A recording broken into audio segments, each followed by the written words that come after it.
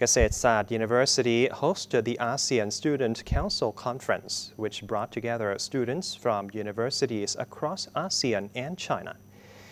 The aim of the event was to inspire social responsibility and honesty. Vice Dean for Student Affairs at Kasetsart University, Assistant Professor Wing Commander Ngam Lamai Piu Leung outlined that the program began in 2017 when the university signed memorandums of understanding with over 100 other institutions throughout ASEAN.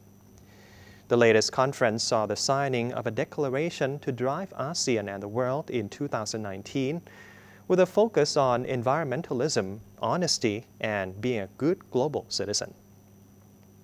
President of the Council at Kasetsart University, Kantawat Thanasirikul, remarked that as Thailand is the ASEAN chair for 2019, there will be many programs for students and youths to take part in and to pursue agendas such as the No Plastic program, which has already been adopted by the university's own convenience stores.